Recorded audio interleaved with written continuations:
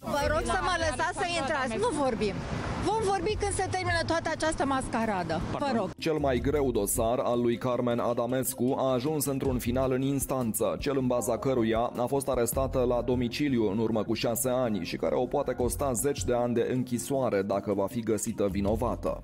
Este o cauză abia trimisă în judecată, abia a fost sesizată instanța cu rechizitoriu pentru mai multe infracțiuni săvârșite în grup infracțional organizat, în principal cu uh, scopul de lapidării de sume importante din societatea Unirea prin operațiuni fictive, contracte și alte asemenea uh, convenții care nu aveau substanță economică, de fapt și prejudiciu e calculat uh, la acest moment pentru aproximativ 17 milioane.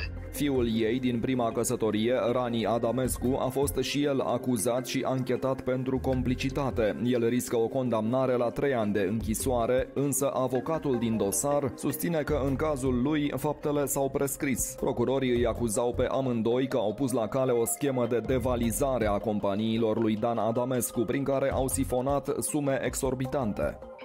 Da, cercetările l-au privit și pe dânsul Însă în cauza aceasta deocamdată cu care a fost învestită instanța, în privința dânsului s-a împlinit uh, termenul de prescripție și n-a mai fost și dânsul trimis în judecată. Într-adevăr, pentru complicitate a fost uh, cercetat și urmărit penal, dar uh, soluția a fost de clasare pentru prescripție, pentru intervenirea prescripției.